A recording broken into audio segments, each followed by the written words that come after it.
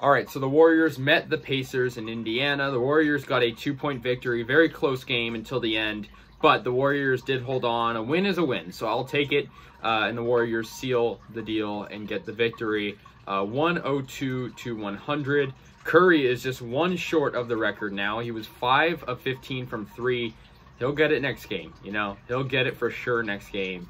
Uh, it was a gritty victory, though, on the road. Um, Curry had 26 points and six rebounds and six assists. That's a good game from Curry. I'll take it. You know, I uh, didn't need to do too much, and uh, it was good for him. It was it was great to see that, and you know, he's getting very close, like I said, to the all-time three-point leader. Um, but yeah, Kevon Looney actually did really good in this game. You know, he's a guy that's obviously a center, so he's not usually typically putting up like the highest stats or whatever, but he had 14 points, he had eight rebounds, and he had three assists. Uh, Curry was good though as well. Wiggins had 15. Draymond had 15. Draymond had a great game as well. He was rebounding the ball well. He had nine rebounds. Um, yeah, and uh, Otto Porter Jr. off the bench, 10 points. I think he's like really our true like six man right now. Uh, and Gary Payton the second, I got to give him credit. He played defensively really well. I think it arguably like saved us the game because we obviously only won by two points.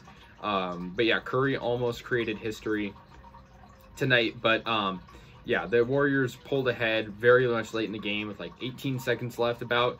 Um, and uh, Looney really put the ball back and he got that clutch ability. Uh, there's 13 seconds left.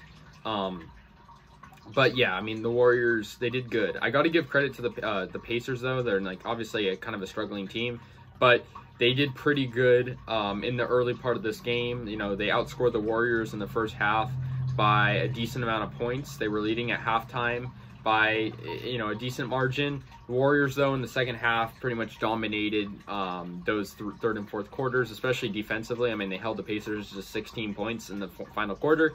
Um, but yeah, I mean, it was good to see the bench guys step up. Jordan Poole had eight points. Um, that's you know good, all right for him. It was a good road win though, um, and you know they were tired seeming. You know, the Warriors, it just seemed like at times they weren't able to get over the hump of, you know, shooting woes. Sometimes they, you know, Curry was taking a rest. He was four for 11 at one point for um, on threes. And I mean, he did pretty good overall, though. And I mean, the Warriors were losing to start the fourth quarter, and they gained momentum going into that, which ultimately gave them the victory. They outscored the Pacers by six in that quarter. Uh, looking at the standings now, um, I mean, technically, I think we're still second. We have more wins than the Suns, though. Um, so that's you know interesting. But next game, we're gonna play the New York Knicks. Uh, Knicks are obviously a team that, I, in my opinion, are kind of you know up and down. Like they they have good moments, they have bad moments. So we'll see how that goes. Right now, the Knicks are 12th place though, so you know they're kind of like where the Pacers are. So if we can beat the Pacers, we probably can beat the Knicks.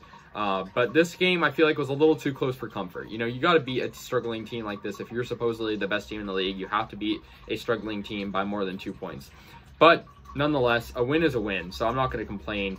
Um, Gary Payton, I got to give him credit for that defense. I mean, honestly, I think he might have won us the games like second-handedly. I mean, single-handedly, I think Looney did because Looney had crazy rebounding stats and scoring.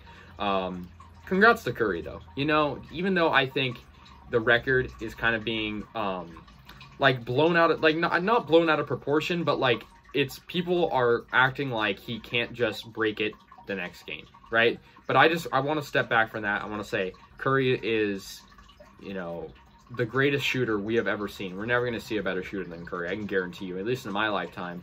And the fact that he's going to break the record next game is in, incredible. And good one for the Warriors tonight. Um, I'm not going to complain. You know, it's a win. It's it's in the win column. That's all that matters. We're 22 and five.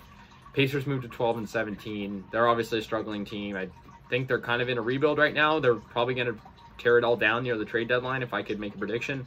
But yeah, good victory, I guess. 102 to 100. We're gonna move on to New York, and um, yeah. Anyways, guys, let me know your thoughts on this. Good one for the Warriors. Um, let's just get more of a margin next time. But yeah, let's move on. Go Warriors. Peace out.